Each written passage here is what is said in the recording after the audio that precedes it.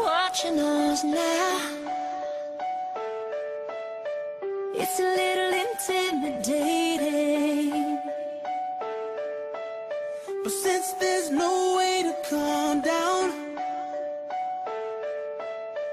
Let's give them something amazing.